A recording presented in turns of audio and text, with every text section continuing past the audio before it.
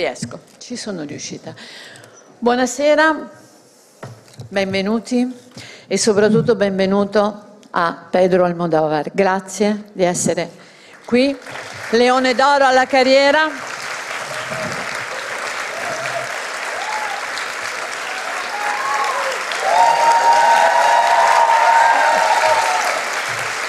Gracias. Tante, grazie tante. Allora, naturalmente è un entusiasmo bellissimo che condividiamo e io sono, ve lo dico, sono emozionata perché bisognerebbe chiedere tutto a Pedro Almodovar. Ci penserete poi anche voi. Io inizierò, ma se avete domande noi credo che anche Pedro sia felice di ascoltarle. Allora, Pedro, vorrei sì. iniziare da un, una cosa. Dolor y gloria è il riassunto anche della tua carriera, ma potremmo fare dolori, gloria y deseo, perché la parola deseo mi sembra una parola importante. Deseo è la tua casa di produzione, la ley del deseo, è il premier deseo nel film.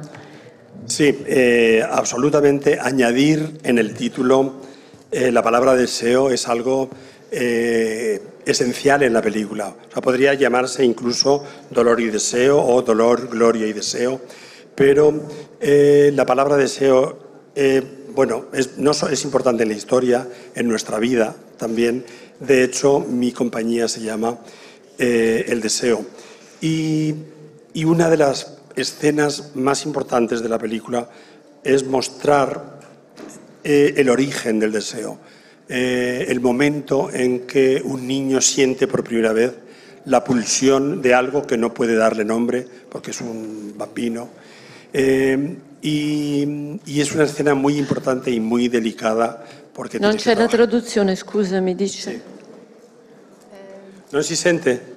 No, no, non funziona. Sì. Però non c'è la traduzione perché traduce lei, non è, è una consecutiva. Non... No, ma io voglio essere sentito anche. Sì, sì, no, ma sei sentito. Versione originale. Sì, aggiungere la parola desiderio è senz'altro fondamentale nel film, mm, potremmo chiamarlo dolor y deseo, dolori, deseo y gloria, va bene. Il desiderio è importante, è importante nel lavoro, è importante nella vita e in effetti la mia società si chiama il, il deseo.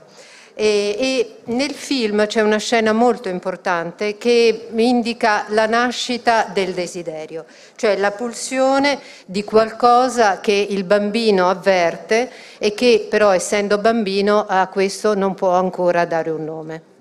Y después también en el personaje que interpreta Antonio Banderas, eh, eh, en el reencuentro con el gran amor de su vida, quiero decir, ha sido, ha sido natura, naturalmente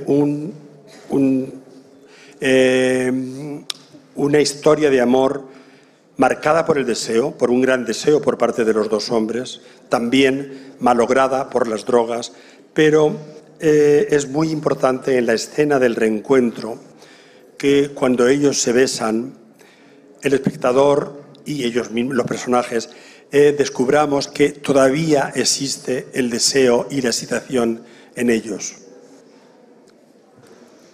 E nel film ehm, Antonio Banderas, il personaggio da lui interpretato, incontra, torna ad incontrare il, quello che è stato il grande amore della sua vita, un amore contrassegnato da un grande desiderio che provano entrambi, un amore che poi è stato distrutto dalla, dalla droga. Ma è molto importante nel film la scena in cui si baciano perché sia i protagonisti, i due personaggi, sia gli spettatori si rendono conto che questo desiderio è ancora vivo. Il Premier Deseo è il titolo del film nel film. Allora io vorrei chiederti il Premier Deseo di Almodovar, ma lavorativo. Il eh. primo desiderio di cinema e anche la tua prima volta, la primissima volta dietro una macchina da presa. Com'è stato e eh, come ci sei arrivato?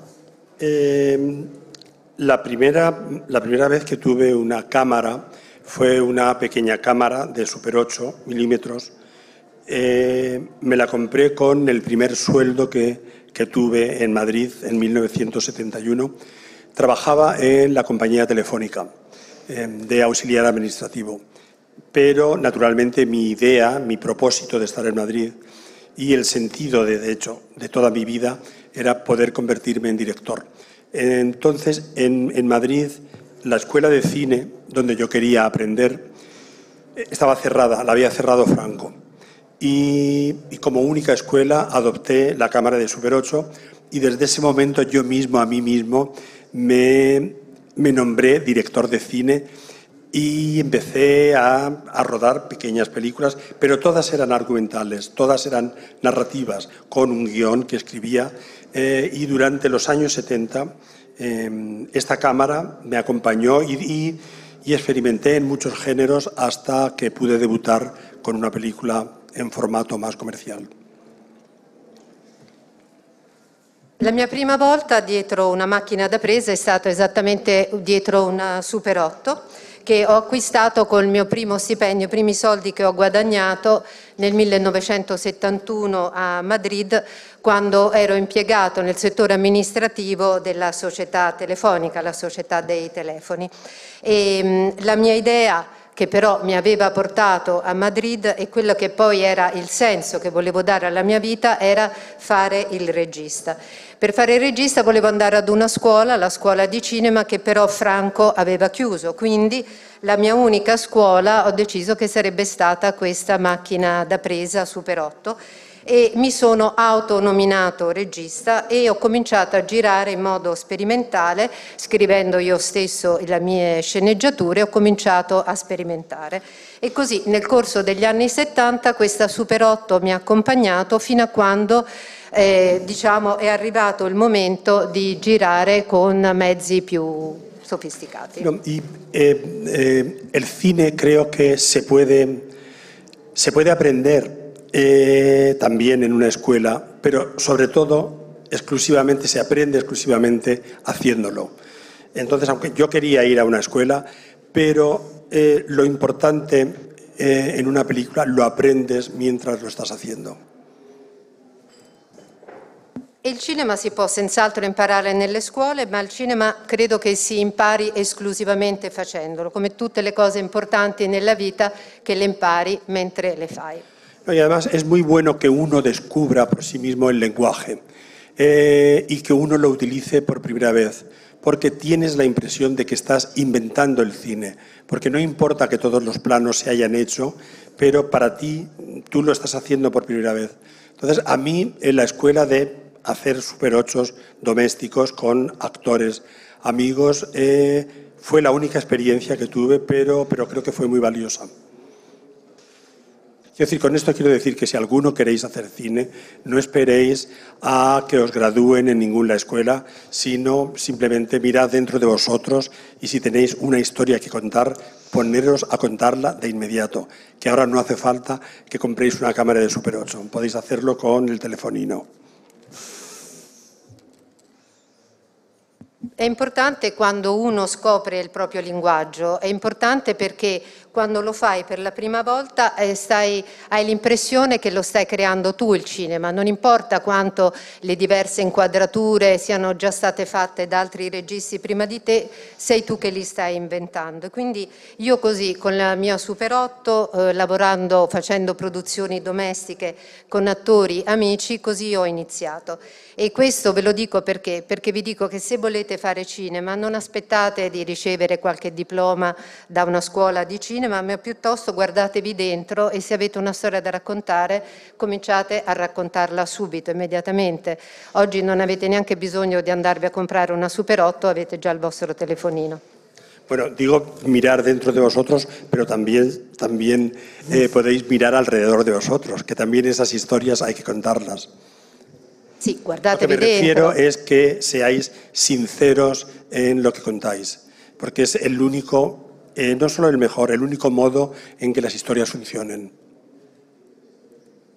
Sì, dicevo di guardarvi dentro, però ovviamente guardate anche intorno a voi quello che succede. L'importante è essere sinceri, eh, perché questo è l'unico modo per poter veramente dire le cose.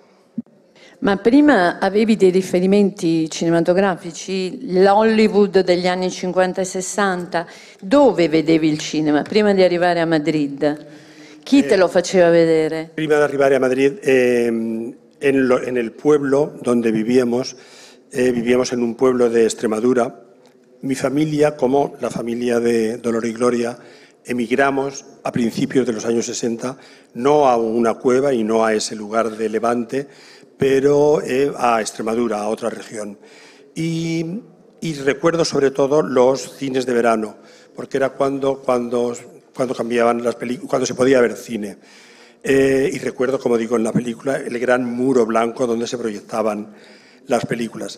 Eh, se ponían de un modo muy desordenado. Quiero decir, era, era una época en que mm, básicamente se veía mucho spaghetti western y algunas películas mexicanas, se ponían también muchas películas mexicanas de fantasía, de fantasciencia. Pero también en, esos, en esa época ya pude ver alguna película de Buñuel, eh, alguna película de Antonioni, eh, alguna película de Orson Welles, mezclada con todos aquellos subproductos eh, del spaghetti western, que era lo que se veía a principios de los años 60. Io vivevo in un piccolo paese della, della regione dell'Estremadura dove la mia famiglia era emigrata all'inizio degli anni 60, proprio come la famiglia che si vede in eh, Dolori Gloria. La mia famiglia non è andata a abitare nelle grotte, ma appunto in questo piccolo paese dell'Estremadura dove l'occasione per me di vedere film era soprattutto il cinema d'estate che eh, proprio come si vede nel film eh, era l'unico momento in cui si poteva vedere eh, cinema e c'era questa grande parete bianca dove venivano eh, proiettati i film e venivano proiettati in modo molto disordinato, casuale, non c'era un ordine, c'erano soprattutto tanti spaghetti western, si vedeva anche molto cinema messicano, cinema di fantasia, però già in quell'occasione ho potuto vedere film di Buñuel, di Antonioni, di Orson Welles, tutto questo, tutti questi film mescolati con il, appunto il sottogenere degli spaghetti western che andavano per la maggiore all'inizio degli anni Y 60. de todos modos, eh, a los 10 años me fui a estudiar el bachillerato a Cáceres, que era la capital, y ya en la capital de la provincia sí podía eh, tener acceso a las películas contemporáneas. Y en Cáceres, en la capital, que os la recomiendo que la visitéis, es una capital bellísima, es un lugar bellísimo. Eh, ya ahí empecé a ver eh, las películas americanas de un modo ordenado y a, enamorar- a enamorarme del color de aquella época, que era el Technicolor. De hecho, yo creo que la coloración de mis películas se debe a mi búsqueda por encontrar los colores de las películas de mi infancia. Poi a dieci anni sono andato a scuola, a scuola a Cáceres, che è la città capoluogo della regione dell'Estremadura, e lì ho potuto cominciare a vedere cinema più contemporaneo. Tra l'altro vi raccomando caldamente di visitare la città di Cáceres perché è una città veramente bellissima, stupenda, ma già eh, lì i film cominciavano a essere presentati in un modo più ordinato, avevo accesso al cinema americano ed è lì che comincio ad innamorarmi del Technicolor e devo dire che probabilmente tutto il colore che è presente nei miei film riflette questa mia perenne ricerca dei colori della mia infanzia, visti nel cinema della mia infanzia. Quindi il merito del Technicolor. ¿Cómo? Sí, el mérito. Il merito è del Technicolor. Sí, sí, porque el Technicolor, por una cuestión química, por, el revelado que se hacía en ese momento, que ahora es imposible conseguirlo, porque ahora eh, todo se parece más a la realidad, pero eh, los colores eran muy vibrantes, absolutamente irreales, eran todo menos naturalistas eh, y muy intensos. Y yo creo también que ese tipo de colores, ese tipo de exageración en los colores, es algo que también le va muy bien a los personajes que yo escribo y a las historias que yo cuento. Gracias al Technicolor, sí. Sì, senz'altro il Technicolor, ma questo per ragioni sostanzialmente di chimica e anche per il modo in cui c'era allora di sviluppare le, le pellicole. Ora sarebbe impossibile, ora invece i toni sono molto più quelli naturali, ma prima i colori erano estremamente vibranti, forti, squillanti e, ed era mh, tutto si poteva dire, tranne che fossero dei colori naturalisti, ma naturalistici, erano molto molto intensi. E questa esagerazione del colore credo che andasse proprio a fagiolo, era proprio perfetta per i personaggi che io creo e per le storie che io racconto. Allora, io fra le mie, le mie memorie di cinema più potenti c'è L'osso di prosciutto di Carmen Maura, perché quella è una scena, credo, in, che hace yo para merecer esto, se lo pronuncio, e la pistola di Peppa in uh, Mujeres. Come nasce? Tu una volta hai detto uh, le donne sono più divertenti e più vivaci da raccontare, gli uomini più noiosi. Io credo che il tuo cinema sia stato molto molto avanti rispetto al dibattito di oggi. Come nasce questa tua idea delle, delle donne, delle donne così Creo que lo he entendido, profe. Sí, sí hai capito? Sí, creo que sí, pero dime más general. Eh, le recuerda es el jabón de Carmen Maura, la pistola de Pepa, y tú siempre has dicho que las mujeres son mucho más entretenidas, la historia de mujeres a contar y los hombres mucho creo que con tu cine tú has adelantado a, a muchas cosas. Sí, en, en estas dos secuencias eh, es muy evidente eso que ahora se habla mucho del empoderamiento de la mujer. Eh, la mujer con poder. Eh, entonces, creo que es, por ejemplo, en el caso de qué he hecho yo para merecer esto, un hombre nunca cogería una pata de jamón para agredir a nadie. Y mucho menos sería tan ingenioso como para partirla, trocearla y cocerla y convertirla en un alimento, en, una, en un caldo, que es el mejor modo eh, en que desaparezca el arma homicida. Eh, sin embargo, una mujer creo que sí puede hacer eso.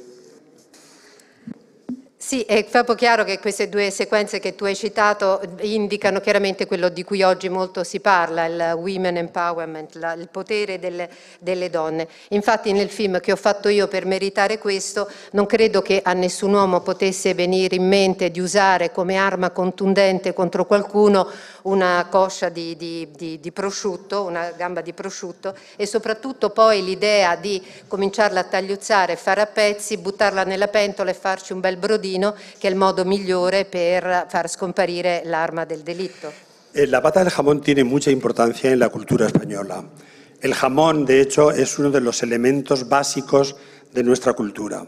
Entonces, tener una pata de jamón escuálida y muy precaria, donde solo hay hueso, eh, para mí era muy importante también para mostrar lo que era eh, la precariedad de la vida de esa familia.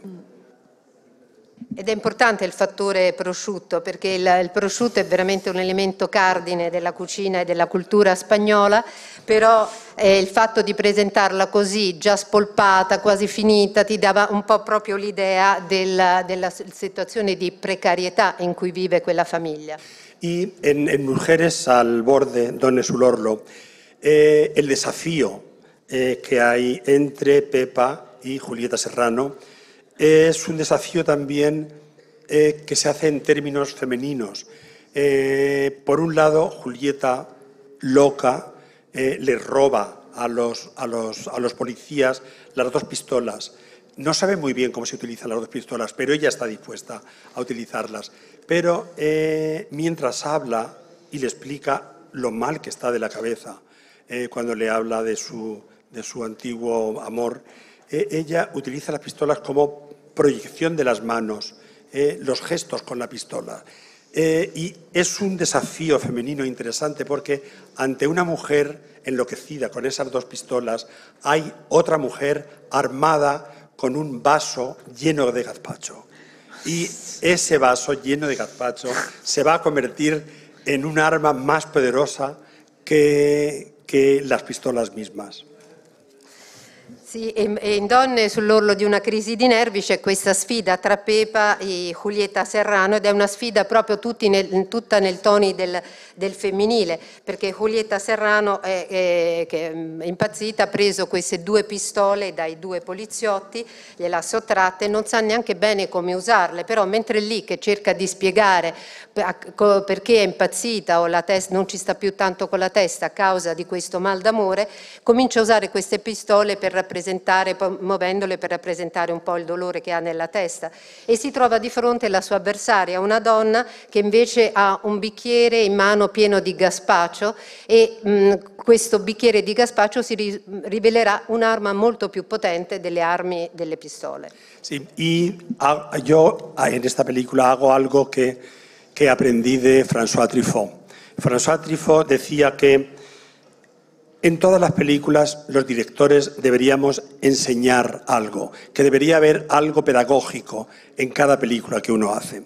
Entonces citaba, por ejemplo, eh, Besos robados, eh, en la cual había una escena en que Jean-Pierre Léo eh, y, su, novia, la novia le, le explicaba cómo esparcir la mantequilla sobre un biscote sin que se rompiera, porque a él se le rompía. Entonces la novia le decía cómo poner dos biscotes, podías extender la mantequilla eh, y después comértelo.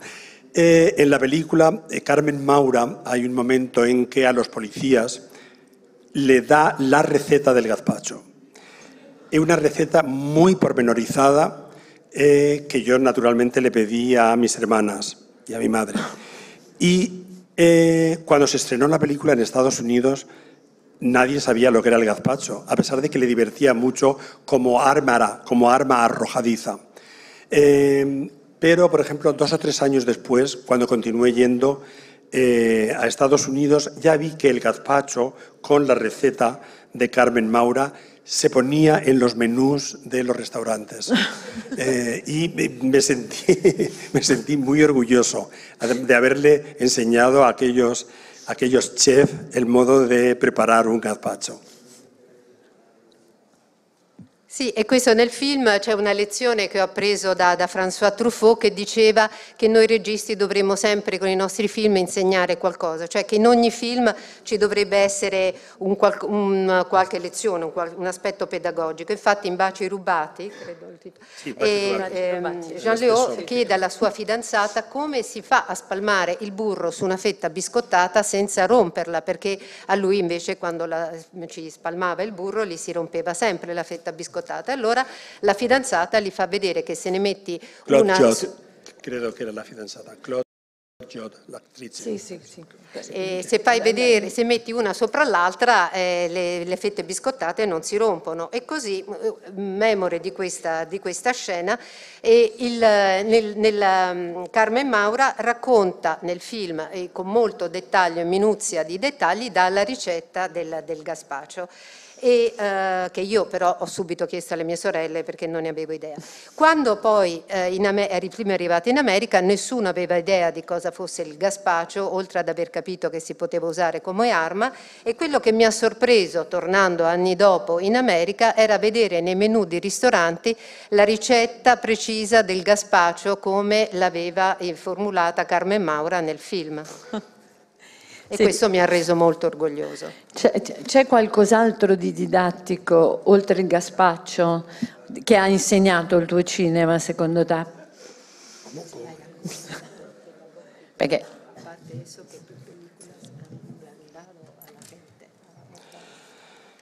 Eh, no lo sé porque eh, soy muy pudoroso para pensar en mí mismo como alguien que ha dado una lección o a otra persona.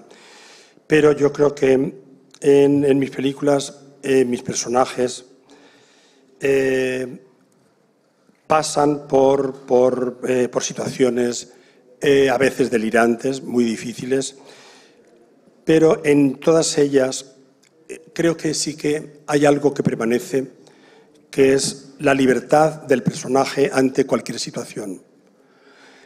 Y la libertad de actuar no solo sin prejuicios, sino también el modo en que no importa la clase social, no importa si es una chica moderna, una monja, una casalinga eh, o un asesino, todos ellos tienen una enorme eh, autonomía moral, que creo que es algo que sí que diferencia mis películas y que como, como escritor me siento con la responsabilidad de, de proporcionárselo a, a mis personajes.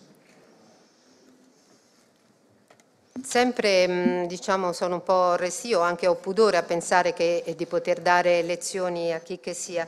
Quello che posso dire è che in tutti i miei film eh, I personaggi si trovano spesso in situazioni deliranti o difficili, però sempre mantengono una grande libertà eh, di fronte a qualunque situazione e non si, vedono, eh, non si fanno influenzare dai pregiudizi, a prescindere anche da quella che è la loro classe sociale, può essere una suora, può essere una ragazza giovane, può essere una casalinga, può essere un assassino, tutti loro godono di grande autonomia morale e io come scrittore, anche come sceneggiatore, mi sento responsabile di questa libertà che do loro.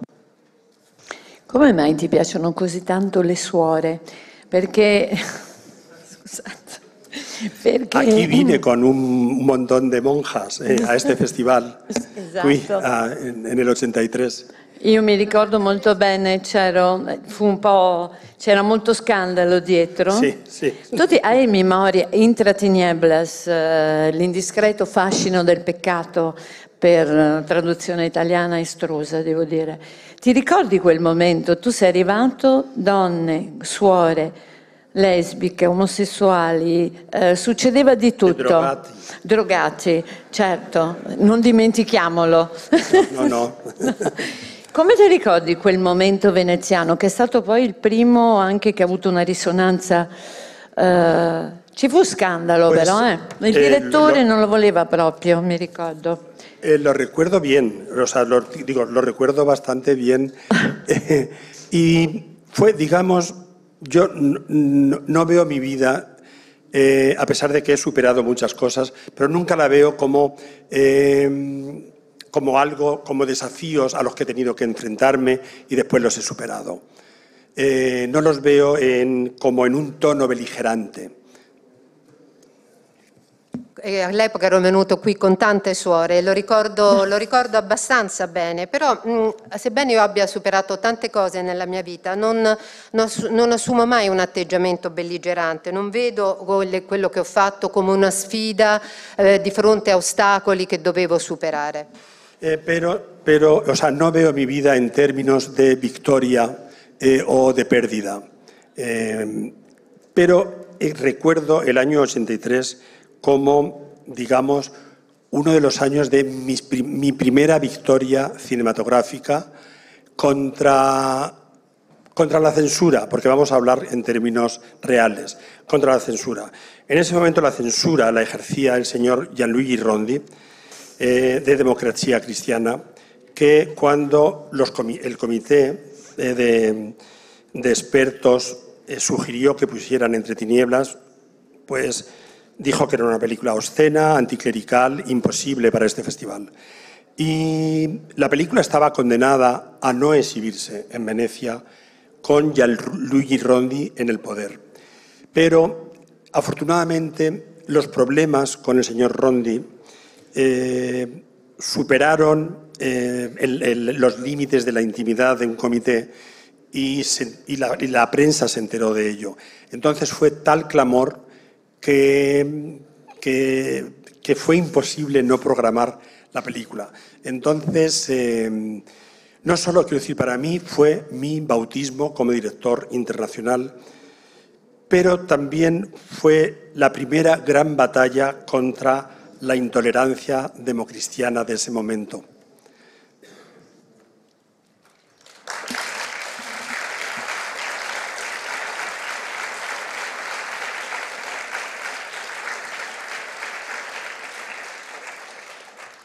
Ehm, non credo mm, e non vedo la mia vita in termini di vittorie o di perdite, però ricordo il 1983 come la mia prima vittoria cinematografica nei confronti della censura, perché poi bisogna eh, dire le cose e usare i termini per quelli che sono.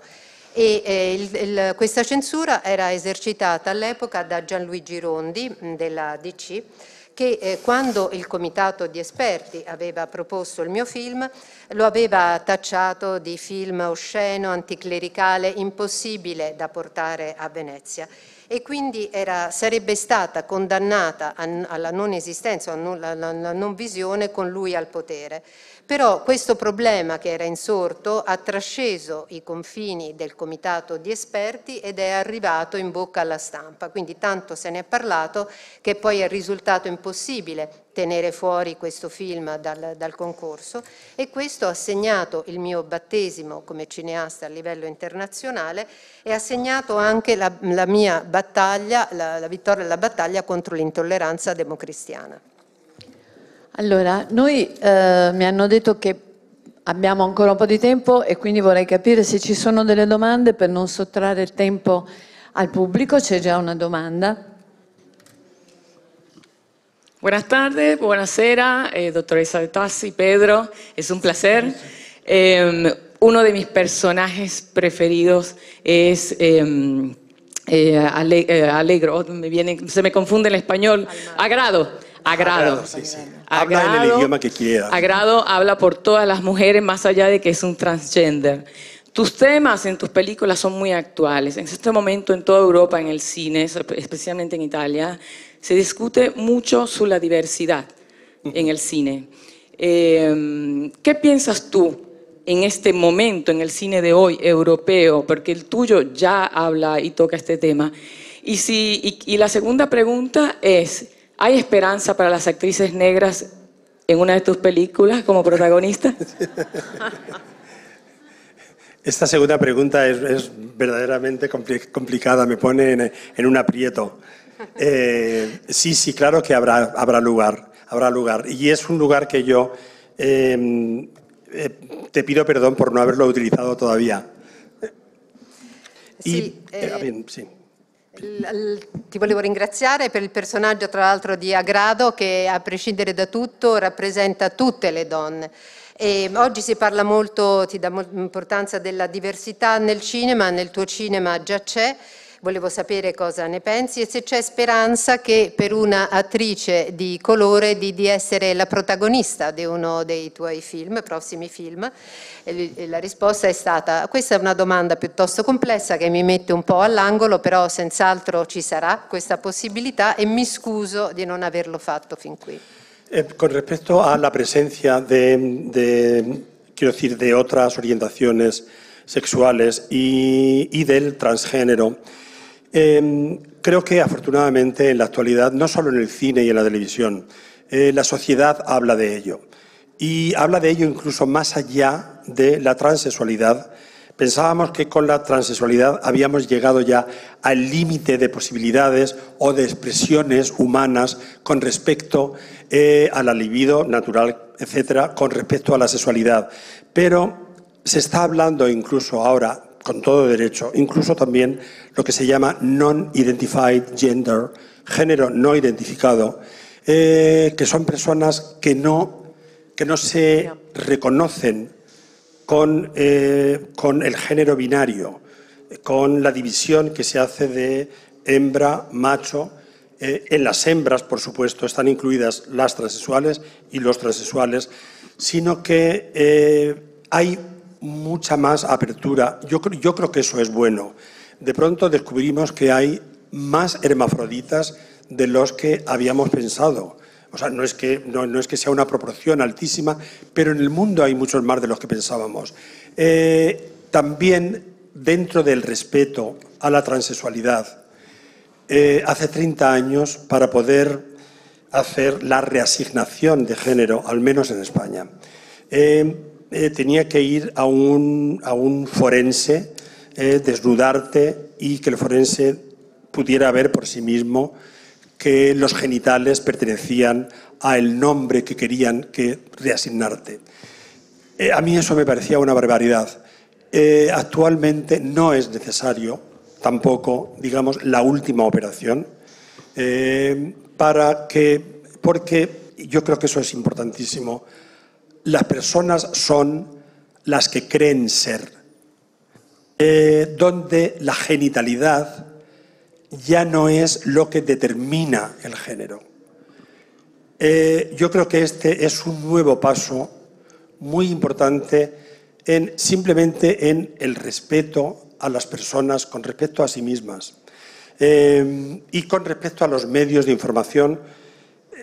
En España, al menos, que es el, país que mejor conozco, eh, los cambios se llevan a cabo dentro de la familia, lo cual es una enorme diferencia. Eh, sin cambiar de colegio con tus compañeros de colegio, eh, está socialmente aceptado. Y, con respecto a los medios, a la ficción, creo que incluso se ha impuesto, tal vez por el complejo de paridad y por el complejo de, quiero decir, de, eh, se ha impuesto mmm, casi una moda en que en todas las series hay muchas más lesbianas que nunca, hay siempre hay algún transexual, eh, es como un elemento que, al que está muy presente ahora en la ficción, que me parece justo. Quiero decir, me parece justo sobre todo porque está presente en nuestra vida. Eh, entonces, sí, yo creo que depende de los lugares también, claro, depende de las sociedades de las que hablemos, pero es un tema que sí que ha avanzado muchísimo en los últimos 30 años, afortunadamente. Sì, um, oggi te- non soltanto il tema della diversità del, degli orientamenti sessuali, del transgender, ma, ehm, di cui oggi molto si parla nella, nella società, ma c'è anche un aspetto, quello della, eh, della transessualità, che, con il quale credevamo di aver raggiunto il, i limiti di, di, quello a cui si poteva arrivare in termini di discorso sulla libido o sulla sessualità.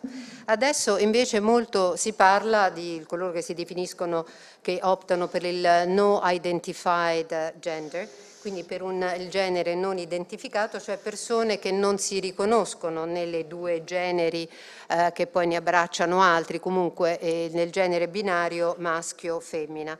E, e, questo c'è una maggiore apertura, se ne parla molto di più. Scopriamo ad esempio che nella società ci sono molti più ermafroditi di quanto avessimo mai pensato ed immaginato, proprio per il fatto che molto di più se ne parla.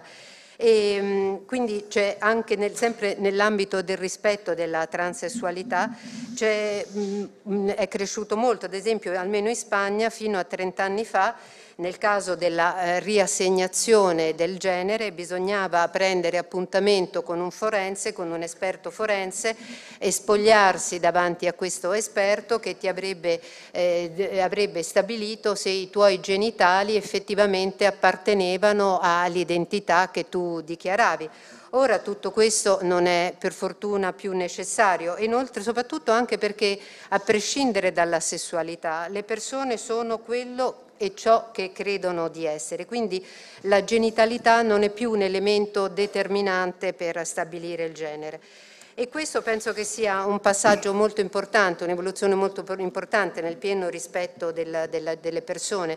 In Spagna almeno questo cambiamento è intervenuto anche all'interno delle famiglie e anche con i tuoi compagni di scuola, continui ad andare nella stessa scuola e tutto viene accettato.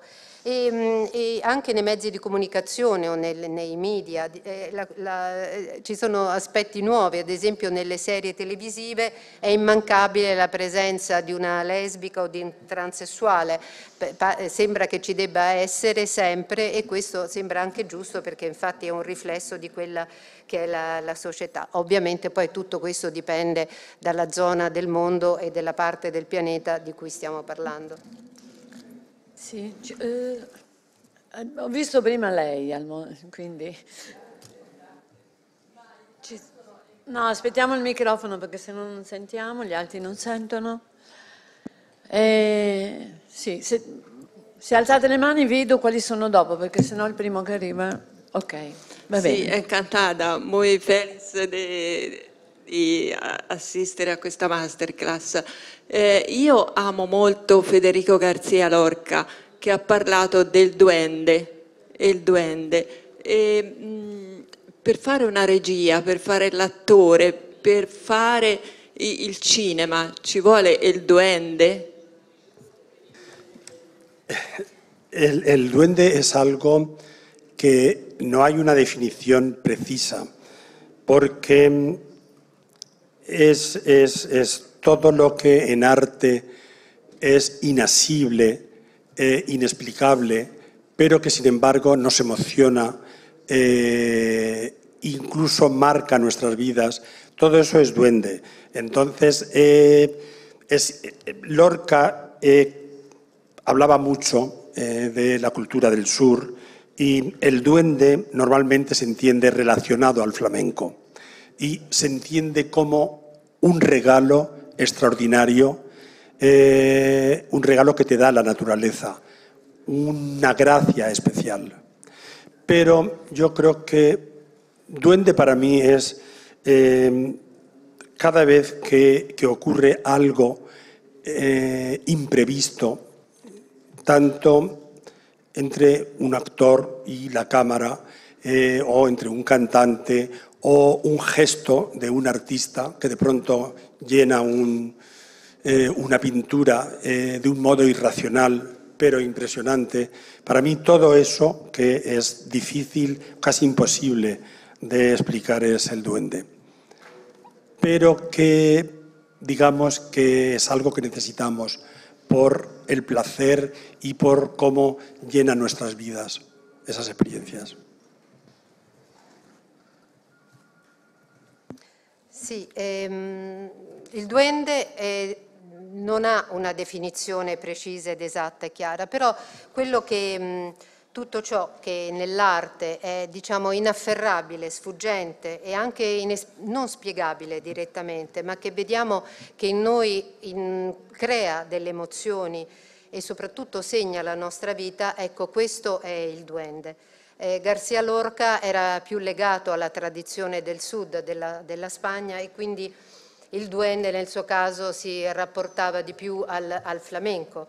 E, e, ma il duende è tutto ciò, è anche regalo o la grazia che ci viene dalla natura, ehm, l'eleganza dalla natura. E il duende e, e, ogni volta io lo vedo, lo intendo come ogni volta che magari un, scatta qualcosa tra un attore e la macchina da presa o qualcosa all'improvviso un artista che riesce a creare sulla tela qualcosa improvvisamente che è difficile da spiegare ma ci emoziona. Quindi il duende è tutto quello di cui noi abbiamo bisogno perché ci dà piacere e perché riempie, ci riempie. Ci sono ancora, penso, due domande, la signora là e poi il signore. Poi arrivo là. Io penso, ah grazie. Penso che finalmente il Leone alla carriera le abbia dato quello che le spetta. Il suo cinema è contenuto e finora abbiamo parlato del contenuto.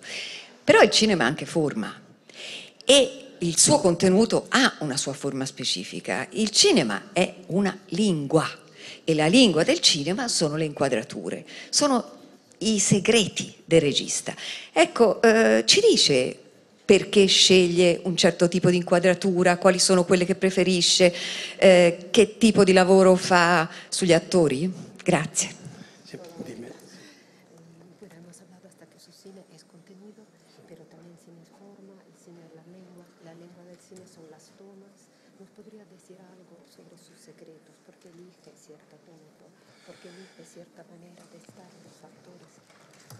Sí, el, cine, o sea, el hecho de hacer una película eh, debe combinar un montón de disciplinas, entre ellas la encuadratura, la fotográfica, eh, que el cuadro tenga una limitación determinada. Y, eh, pero, en efecto, em, hay una razón. hay una razón que tiene que ver con lo que quieres ver, lo que quieres mostrar eh, de lo que quieres informar al público. En, cuanto a lo que es la fotografía, el cuadro de la fotografía, eh, yo depende de cada momento lo que quiera contar. Hay veces que em, un primer plano, que es algo muy sencillo, contiene toda la complejidad de la historia y es lo más expresivo que puedes hacer. Eh, y al contrario, quiero decir, yo, en, el, Dolor y Gloria, por ejemplo, los pocos planos generales que hacía era para mostrar la soledad del personaje. Eh, es, algo que de, de, de, algún modo cada uno planifica de un modo, cada director planifica de un modo, pero, pero yo lo hago de un modo intuitivo y de acuerdo con aquello que quiero contar en ese, con ese plano específico.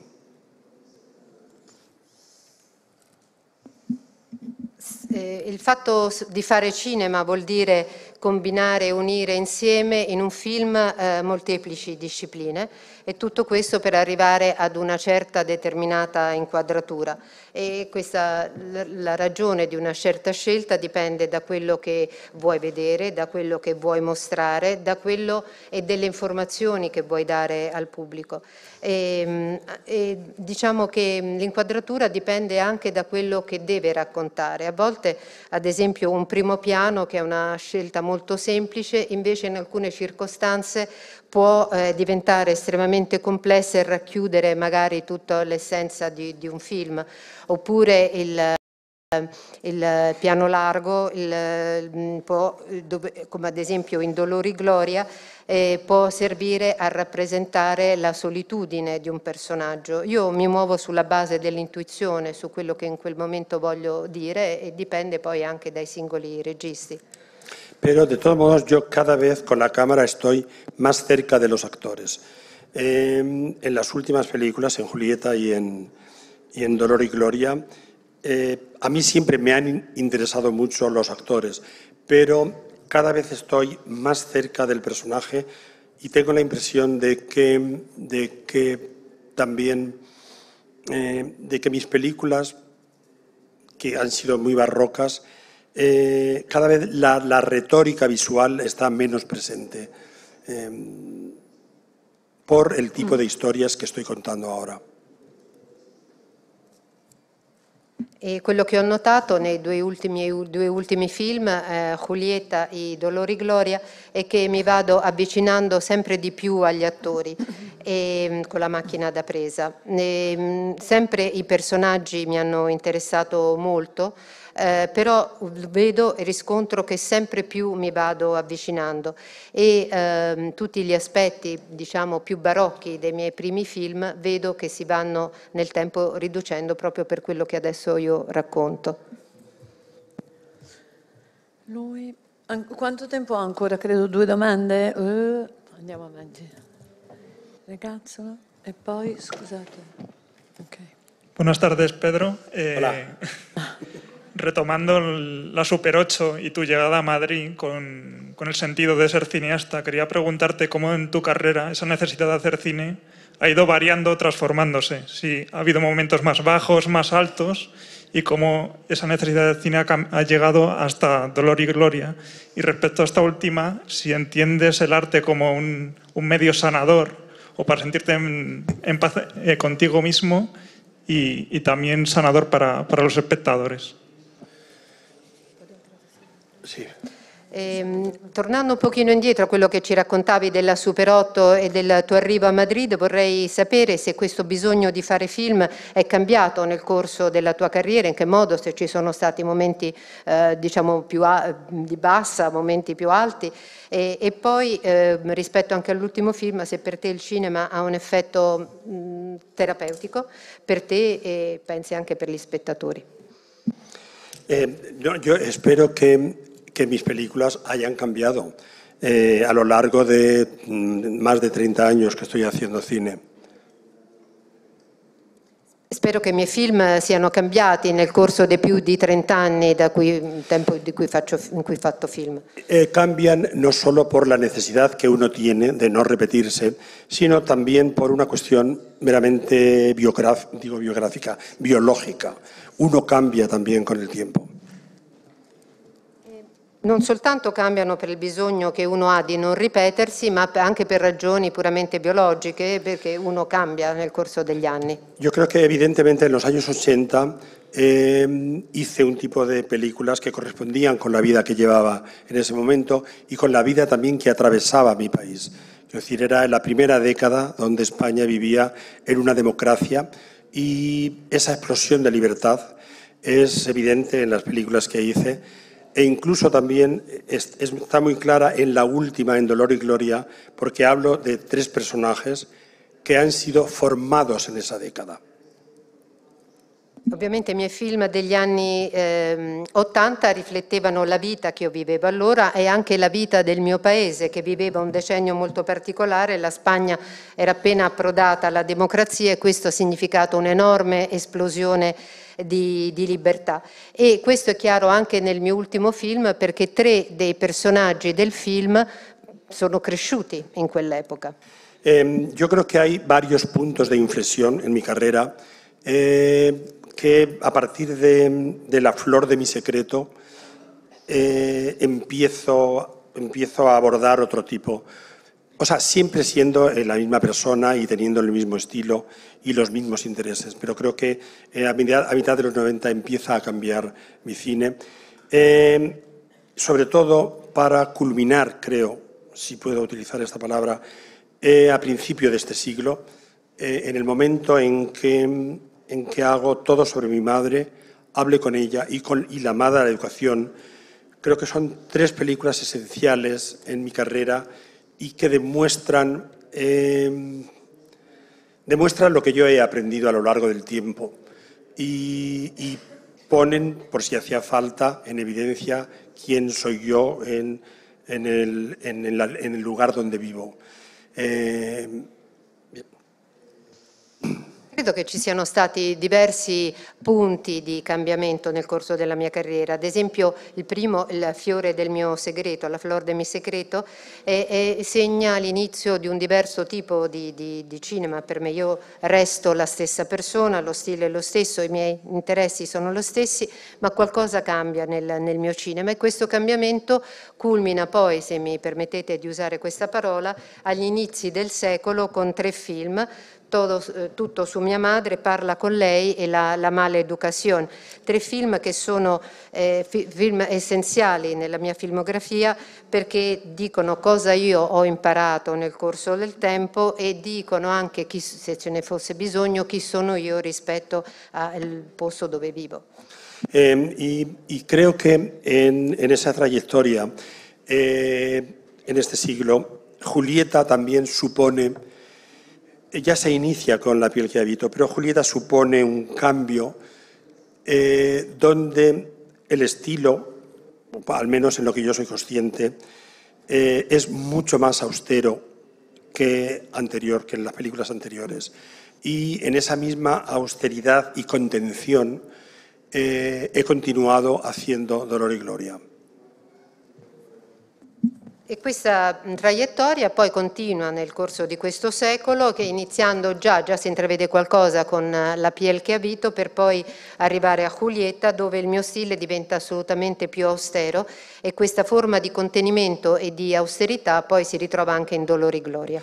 Después acerca de la presencia del arte en mis películas, eh, para mí es esencial eh, porque define a los personajes Y bueno, me define también a mí mismo. Hay veces que pongo un cuadro porque me gusta a mí.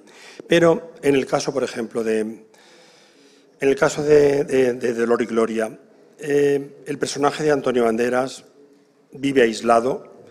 Eh, es una soledad que ha ido acumulándose a través del dolor, pero a través también de, de la depresión que le trae toda la situación que él vive y también a través de de, la lejanía cada vez mayor con el cine, de la sensación de que no va a poder hacer una película nunca más. En, este tipo de soledad absoluta en la que vive, eh, los cuadros que tiene en su casa, primeramente muestran que el personaje ha tenido, ha tenido éxito en su trabajo.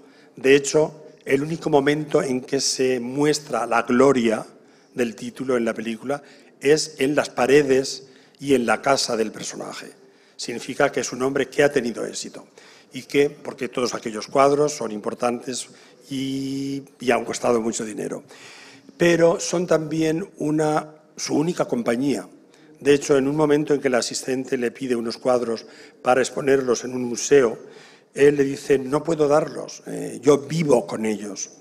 Eh, también yo, el arte, en, mi caso, quiero decir, es lo mismo que la lectura y el propio cine. Eh, son las mejores compañías que he encontrado eh, con que llenar los vacíos de mi vida, pero además también para un cineasta eh, el, quiero decir, poner algo en, la pared, al menos para mí, tiene mucho significado. En, en, Julieta, por ejemplo, mostramos a una mujer que vive en una casa blanca, nunca había tenido un decorado blanco, y absolutamente con una ausencia absoluta de objetos, que, que significa no ya la soledad, sino el vacío de esta mujer que ha perdido a su hija. Eh, hay un cambio en la película cuando aparecen tres carteles de, tres, de dos exposiciones y una obra de teatro. Para mí, como narrador, eso significa ha ido a Londres a ver una exposición de Lucian Freud. Naturalmente el espectador puede entenderlo o no, pero para mí ese es el significado. Porque hay un cartel de, una exhibición de retratos de Lucian Freud, hay también de otra exhibición de Antonio López, eh, muy desoladora, y de una obra de teatro de Bob Wilson. Eh, para mí no solo estoy explicando que ella ha empezado a moverse y a salir de, esa situación, sino que en el momento en que está mirando en el cubo de la basura, eh, buscando, eh, el plano lo comparte con un retrato de Lucian Freud y la composición para mí era perfecta. Entonces el cuadro acompaña a la actriz, acompaña de un modo como si fuera, como si fuera otro actor. Eh, entonces, quiero decir, el, arte en mis películas tiene muchas funciones, muchas de ellas los convierten casi en personajes. L'arte nei miei film è, è, importantissima perché serve a definire sia i miei personaggi che, eh, che me stesso. E, e infatti cioè io magari a volte metto un quadro che, che è il mio. E mm, nel, in Dolori Gloria il personaggio interpretato da Antonio Banderas vive isolato, vive in uno stato di isolamento, in una solitudine che ha accumulato nel corso del tempo e che si è venuta ad aggiungere alla depressione e eh, questa solitudine è dovuta anche alla lontananza che lui sente crescere dal cinema in quanto teme che non farà mai più un film.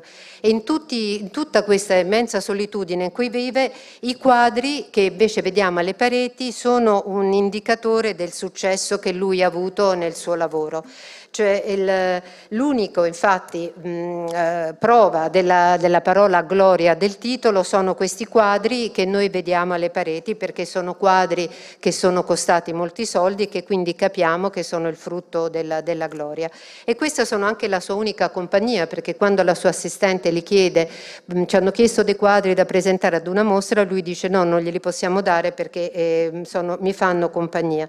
Quindi io ho sempre pensato che i quadri lo stesso cinema, i libri sono la migliore compagnia per riempire il vuoto che uno può avere. E, e anche mh, come cineasta per me è importantissimo mettere dei quadri nelle pareti delle, eh, de, delle, dei set. Ad, es ad esempio in, nel film Julieta c'è una totale assenza di oggetti e ci sono delle pareti completamente bianche, cosa che a me non era mai successa nei miei film precedenti e questo sta a, a significare, a trasmettere il, il, vuoto di questa donna a seguito della perdita della figlia. E quando è che questo vuoto comincia a riempirsi? Quando nelle pareti vediamo tre affiche, tre eh, cartelloni di tre mostre che lei è andata a vedere. Allora nella mente dello spettatore, o almeno nella mia mente, si dovrebbe attivare il pensiero. Bene, lei quindi è uscita di casa, è andata a Londra, è andata a vedere la mostra di Lucian Freud, di Antonio Lopez e un'altra anche di Bob Wilson. E, e questo spiega che è iniziata in lei una nuova fase di vita. Infatti c'è quella l'inquadratura quando si china sul, sul, cesso della spazzatura e si vede il, il poster di Lucian Freud, è come se l'accompagnasse come se fosse un altro attore. Infatti per me eh, l'arte è molto importante nei miei film perché a volte i quadri stessi sono diventati dei personaggi. Ho una brutta notizia per voi, c'è tempo per una sola domanda è brutta anche per me come notizia e non so se per scegliere a Pedro a... Allora, io ho visto, il, ecco, te il ragazzo, sì sì, sei tu che ti giri, perché ti avevo visto prima con la mano alzata. Devo andare un po' a sorte, scusate.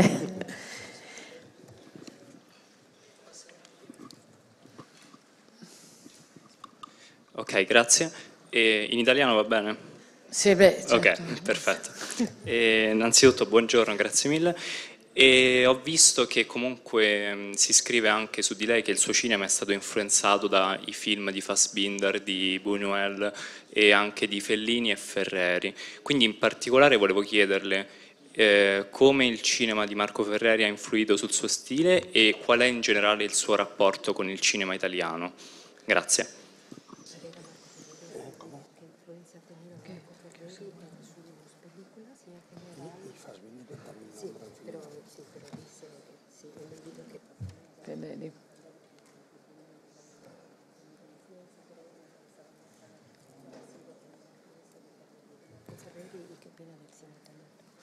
Eh, L'ultima domanda, del cinema italiano? Che- Sì, sì, lui dice Eh, no, yo, yo como espectador y, y como cineasta soy un gran admirador del cine italiano. Y eh, sobre todo en mi adolescencia mm, eh, se veían muchas películas italianas en España. Eh, ya, lo, ya lo he manifestado más de una vez que, que el neorrealismo, por ejemplo, para mí es el único género que actualmente uno puede abordar sin ponerlo al día, porque funciona como tal en cualquier parte del mundo. Sì, ehm, come spettatore, come cineasta ho sempre detto di essere un grande ammiratore del cinema italiano. Nella mia adolescenza in Spagna si vedeva moltissimo cinema italiano e come ho detto in diverse occasioni il neorealismo è un, è un genere sempre attuale che non ha bisogno, a differenza di altri generi, di essere ammodernato o attualizzato.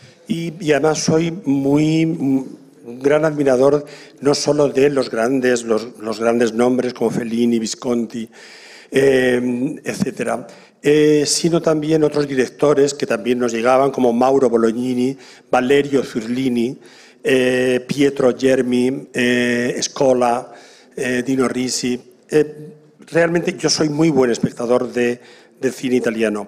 Y en cuanto a Ferreri, es curioso porque Ferreri lo veo como un cineasta español, eh, tal vez porque la primera película que hizo, y la primera y la segunda, eh, lo- las hizo con Rafael Azcona y en España, y con actrices, bueno, eh, con algunas actrices con las que yo he trabajado después. Eh, de hecho, él hizo debutar a, a Chus Lampreave, o sea, Chus Lampreave aparece por primera vez en una película de, de Marco Ferreri. Y, estoy hablando de, los, de final de los años 50. Esas películas me gustaban mucho y me parecían, y me sentía identificado con ellas eh, culturalmente, me parecía que nacen en, España. Eh, después también seguí interesándome eh, por él, pero no sé si es, digamos, el director que me ha dejado una mayor huella. Sì, eh, mh, sono, sono grande ammiratore non soltanto dei grandi nomi del cinema italiano, Visconti, Fellini, ma anche di altri mh, eh, cineasti italiani che- di cui arrivavano in Spagna le opere, come mh, Mario, Mario Bolognini, Zurlini, Scola, Germi, Risi. Ferreri, la cosa strana è che io lo, lo vedo come un cineasta spagnolo, un po' perché ha fatto i primi due film in Spagna Sí, con... el visito y el cochecito, que no, no, no ho detto. E, e con Raffaella Ascona, poi perché ha lavorato con delle attrici con cui io, anche io dopo ho lavorato, ad esempio l'esordio al cinema eh, di, Ciu- di Cius Lampreave è stato proprio con lui, con Ferreri, quindi um, molto presente alla fine degli anni 50, mi, mi piaceva, mi identificavo anche con questi film perché li, li sentivo nati in Spagna, però, eh, però diciamo che non è un cineasta che ha lasciato, se devo dire, proprio una grossa impronta nei miei film. No, pero lo, lo admiro muchísimo. O sea, recuerdo como una gran obra maestra, La Grande Abufata, o eh, eh, Dillinger è morto. Es, es una película que cuando la vi me impresionó muchísimo. O sea, que es un director al que, al que admiro mucho también. È un regista che ammiro molto, la, la grande abbuffata e anche Dillinger è morto, eh, mi aveva colpito moltissimo. Eh, eh, sto guardando i miei... Allora, potrei... Potevamo stare ore. Grazie. Grazie. Io vorrei un- una parte dell'applauso anche alla traduzione perché è bravissima. E grazie, grazie a Pedro Nodovar per tutto. Grazie, a tutti, grazie per venire.